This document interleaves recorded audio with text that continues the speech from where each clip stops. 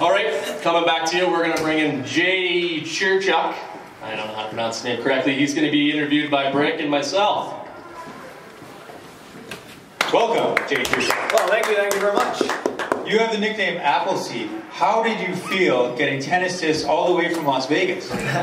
Well, you know, when you're good, you're good. Fuck. I can put them in from anywhere. Supposedly you can. Well, uh, anything you'd like to add, Ron?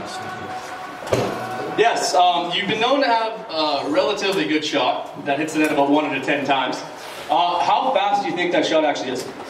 Oh, I would say it's probably around the one, probably 115 miles an hour. Yeah, probably not. But I would say it's a really good shot. Your accuracy, like I said, not as good as it could be. Have you been practicing at all in the off season? Yeah, I bought a soccer net and we set it up in front of the go- uh, garage and I've been practicing with that. Still missing, probably I'm getting about 2 out of 10 now, so it's helping.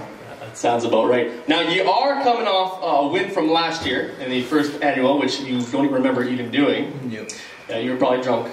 You did beat the, the, the Middlemiss team, so I'm shocked you don't remember that. Because that's Well, usually the usually the guy that's a couple points ahead of you in the standings, if you uh, can recall. Do you remember that game, Nicholas? I don't remember that game at all. Okay.